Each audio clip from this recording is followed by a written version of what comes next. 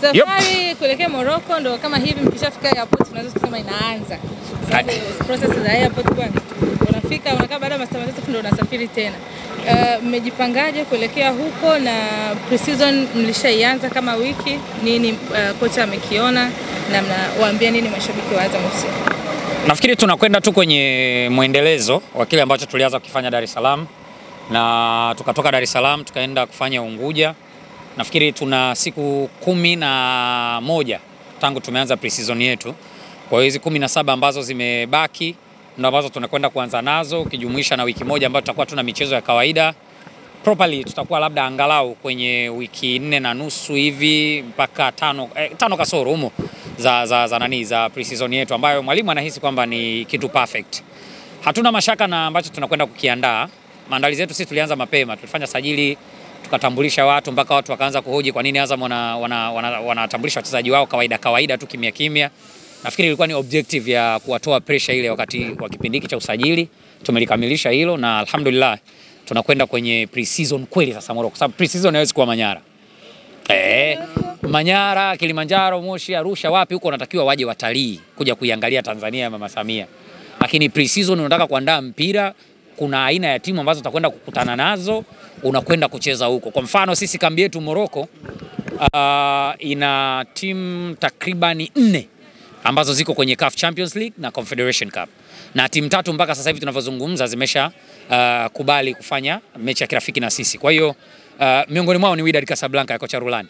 Kwa hiyo ni miongoni mwa sehemu ambazo kwanza zinatoa exposure kwa nchi, inatoa exposure kwa klabu, lakini timu inapata ile proper pre-season kutokana na aina ya mechi za kirafiki ambazo tutazipata huko. Sasa Manyara ukienda ndo utacheza na Manyara High School, utacheza sijui na wale sijui sijui Kenko School nini nini kule. Hatusemi kwamba ni sehemu mbaya kuweka kambi, ila je, utapata hizo mechi za kirafiki ambazo unazitazama?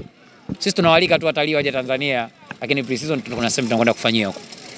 Mnapoelekea kwenye pre-season, mmesema mnaenda kupata mechi za kirafiki na mnaondoka na wachezaji wote. Tumemwona Tepsi Evans pia Mm, mm, mm, mm. tukasema kwamba Tepsi amerudi nyumbani. Tepsi Azam FC ni kwao, mara zote anatolewa kwenda kukua kwa. This time around kocha it seems ameridhika na kile ambacho amekiona huko, na anaamini kwamba ni miongoni mwa watu ambao wanaweza kuongeza nguvu kwenye kikosi chake kama alivyoaminiwa kina Msindo, walivyoaminiwa kina Lusajo, walivyoaminiwa na wachezaji wengine wote kina Idi Nado wa umbo lile lile, nafasi zile zile anaweza kudeliver. Kwangu mimi ni mchezaji mzuri, mimi namuita Pinocchio, mtoto wa mbao. Yani anabadilika, anacheza kutokana na mpira unavyotaka. Ukitaka nginja nginja anaweza, ukitaka burudani anakupa. Eh, ndio vitu ambavyo huwa vinapatikana kwa Tips Evansinho. Nimesemaje? hapo?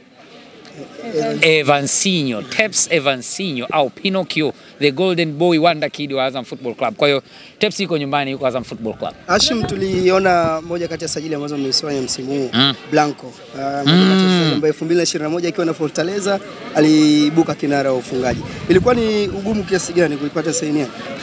Blanco tunasajili mpaka anafika Tanzania, mm.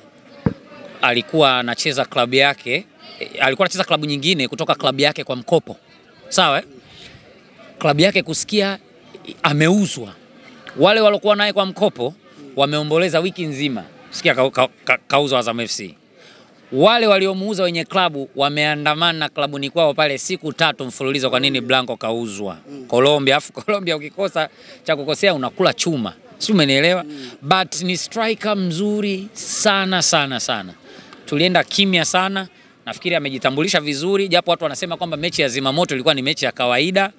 Kama Zimamoto walikuwa kawaida, wangemfunga wao Mlandege Eh? Hey, wangewafunga wale timu za kule zile wangewafunga kule, mbona wanabarasa barasa kila siku wanaondoka, sisi tunakuja wa mwisho. mm. Umenelewa mm. Kwa hiyo ilikuwa ni sehemu tu ya kujiandaa. Blanco ameonyesha kwamba ni striker wa aina gani. Nafikiri mabeki wajiandae, makipa wajiandae sana. Hashim, uh, pengine tunaona mnasajili wachezaji kutokea Colombia, Marekani. Hatuoni mkifanya sajili za wachezaji pale Kariakoo, ina maana ukiwa na maana kwamba hamoni mchezaji ambaye anaweza kuhudumu wazo. Wapo ambao tuliomba kuzungumza wakakataa, lakini kwa quality waliobakia hamna mchezaji ambaye ana qualify kucheza Azam FC. Sirudii. Tuna, tunaweza kusema kwamba Azam FC umeshamalizana na usajili. Bado we, kuna watu hapa wamepitishwa mlango wa nyuma, mjawaona hapa. kuna watu wengine wawili tumesafiri nao wametangulia airport masaa matano kabla ya safari. Wa kimataifa hapa nyumbani. Wewe subiri, utawaona hao watu, tutakuwa nao pre-season, watafanya mazoezi na sisi, tutawatambulishia pre-season, mtawaona huko, lakini usajili bado hatujamaliza. Wapo wachezaji wawili watatambulishwa au watatu kama huyu watatu jambo lake likikaa sawa, lakini hao wawili ambao nawaambia mpaka sasa hivi uhakika hivi, tuna timu yetu ya scouts ambao bado wanaendelea kupambana na huyu watatu kuhakikisha kwamba anakuwa hapo, na msi, msijali kuhusu kuwasajili kimataifa na nini, majina yalishaenda, in case anything happens watakuwepo tu. Hashim, tumeona katika hatua ya awali ya ligi ya mabingwa Afrika mmepangiwa na APR na APR. endapo mtafuzu mtakutana na Pyramids. Watu wameanza kuweka doubt hapo. Sasa na Pyramids Mimi nafikiri ni sawa sana kwanza kuanza kuwazungumzia APR. Tuheshimu kwanza EPR. Tangu ameanzishwa 1960s huko, ni timu ambayo imekuwa na legacy kubwa kwenye mpira wetu hii Afrika Mashariki na kati Afrika. Watu wanaijua EPR. Walikuwa wakija hapa EPR tunaunyaunya, kila mtu anajua. Kwa hiyo nafikiri tuwaheshimu kwanza wao kwa sababu hawako uh, CAF Champions League kwa bahati mbaya. Kama EPR ni wa kawaida, mbona wewe mgumu haupo? Si umenielewa? Kwa hiyo sisi tutacheza na APR. Tutachimba na APR kwanza, ndo focus yetu. Baada ya hapo tutakwenda kuangalia nani anakuja baina ya JKU na Pyramid. Watu wasiwazungumze Pyramid peke yao kwa sababu JKU nao wamo. Alafu ni timu ya kwetu Tanzania, timu ya nyumbani. Kwa hiyo mimi niko kwanza, kwanza niko na JKU. Kwanza niko na yoyote ambayo utakutana naye kwenye mechi ya kwanza au mechi ya pili, home or away, ni mechi ngumu. Hawako klabu bingwa bahati mbaya. So full respect kwa APR, full respect kwa JKU na Pyramid. Sisi tutahakikisha tunacheza makundi, ndio dhamira yetu. Tutakwenda makundi ya Azam FC.